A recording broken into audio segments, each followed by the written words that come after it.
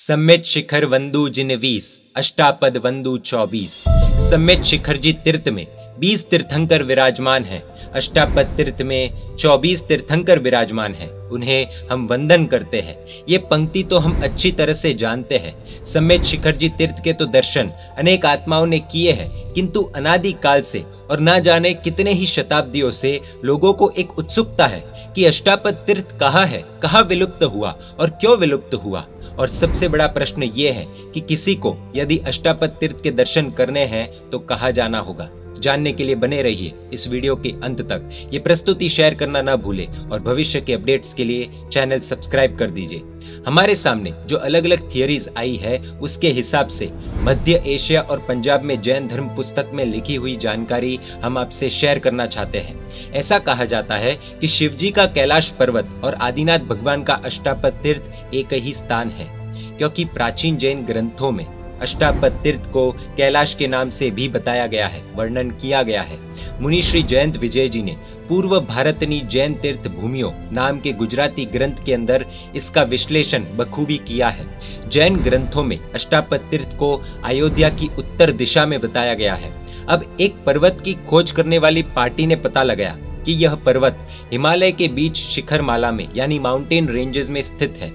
उत्तर भारत के अल्मोड़ा नाम के शहर से लगभग 250 मील दूर तिब्बत, जिसको आज हम तिब्बत के नाम से जानते हैं, वह प्रदेश है। भारत की सीमा इस पर्वत से लगभग 40 से 45 मील पर है। अब हम जिस अष्टापद तीर्थ की बात करने वाले हैं, उससे मिलने वाला जो पर्वत है, जिसे हम अज्यूम कर रहे हैं कि वह अष्टापद तीर्थ हो सकता है या होना चाहिए, यह प्राकृतिक पर्वत नहीं है, बल्कि किसी ने तराश कर बनाया हुआ पर्वत ऐसा दिखाई देता है, ऐसा उसे देखने से मालूम होता है। प्राकृतिक पर्वत उतराव और चढ़ाव की ढलानों वाला होता है, जिनमें कुदरती लहरें आदि होती है, किंतु हम जिस पर्वत की बात कर रहे हैं, वह ऐसा नहीं है। अपनी श्रृंखला में यह सबसे ऊँचा है। इस पर्वत को यदि दूर से देखेंगे तो चारों दिशाओं से एक जैसा ही दिखता है। यानी जिस तरह से तराशा गया है, वह हर तरफ़ से एक समान दिखता है। इसके चारों ओर खाई है।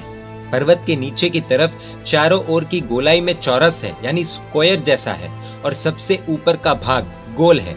इस पर्वत की छोटी नीचे के भाग से लगभग 4000 से 5000 फीट ऊँची है। समुद्र तल से इसकी ऊंचाई 23000 फीट की है।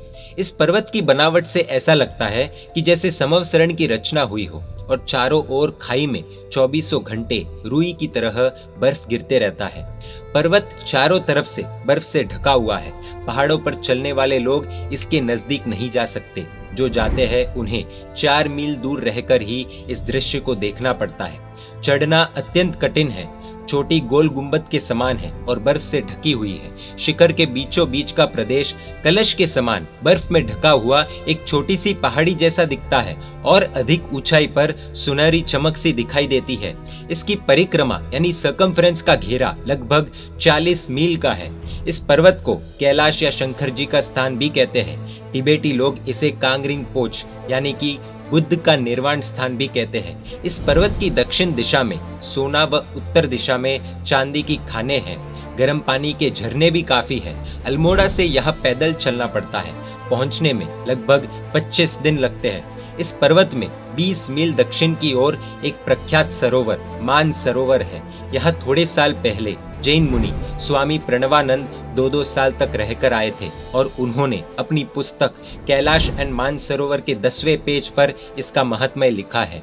उसमें अष्टापद यानी कैलाश का फ़ोटो भी साथ में दिया गया है। अष्टापद पर्वत तिबेट की पहाड़ियों पर स्थित है। भगवान श्री ऋषभ देव की यानी आदिनाथ भगवान की निर्वाण भूमि अष्टापद है। आखिर ये पर्वत बनाया किसने? भरत चक्रवर्ती ने वहाँ चार मुख वाला सिंह निषद्या नाम का मंदिर बनवाया था और उन्होंने भगवान ऋषभ देव के मुखारविंद से सुने हुए वर्णन के अनुसार वर्तमान चौबीसी के तीर्थंकरों को हर एक तीर्थंकर के देहमान और रंग के अनुसार 24 प्रतिमाएँ भरवाई थी और प्रतिष्ठित की थी। भरत महाराजा ने खुद की मुद्रिका, यानी अंगूठी में से एक प्रतिमा बनवाई थी और यही प्रतिमा आज कुलपाक जी में, यानी माणिक स्वामी के नाम से विराजित है। और वह माणिक पत्थर में से बनी हुई है। और वो माणिक दूसरा कोई नहीं, बल्कि भरत चक्रवर्ती की अंगूठी का है।